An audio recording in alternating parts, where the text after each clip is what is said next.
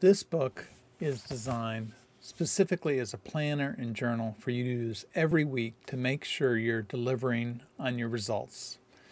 I'm sure that all of us have had the experience of either by yourself or working with a group of people coming up with the objectives that we need to achieve for our organization or need to achieve personally. Those key results that are going to get us there. So we break down, we think about those, we think about what those metrics, how we're going to measure them. But then we get deluged with all the email, calls, conference meetings, all that kind of stuff that happens every week.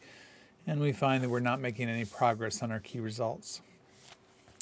This is how I've been able to solve that conundrum. It's using this journal and planner. This is one that I've used myself and kind of developed in my own hard copy uh, in a three ring binder, and now I'm publishing it so that hopefully it'll help you starts out with actually writing down your OKRs. Turns out when you write things down, there's kind of a connection that gets made between your brain and the paper, and it helps prime your brain into thinking about these OKRs, not only just then, but throughout the week and throughout the month. Then every week, we plan out how are we going to actually deliver some deliverables that are going to get us to move that needle. We're going to do a pre-mortem on the week, figure out well, what could go wrong? How can we head those things off?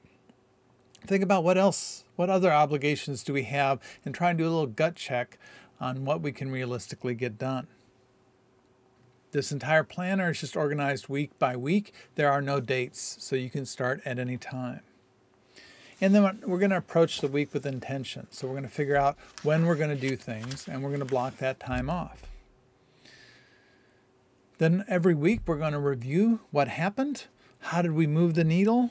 Do some reflection, think about those wins we want to remember, uh, maybe say, take some notes, and do a start, stop, and continue exercise. What should we start doing that we're not doing? What should we stop doing that we've been doing that's not effective? And what should we continue to do or improve upon? And then I also include a sharpening the saw, I call it. So basically, a video uh, for you to watch that uh, it's a QR code or URL, and uh, will help you kind of think about the future, think about these big goals, think about um, where you're going, how to improve. So you'll notice it's nice and big, so you have plenty of room to write, take notes. Um, I use QR codes as well as short URLs if you do have any um, types of videos or other resources that I include. So I really hope you find this useful. Uh, I hope you'll provide me with some feedback that I can use to improve it. I've provided some links inside the book as well to do that. And I hope it meets your objectives.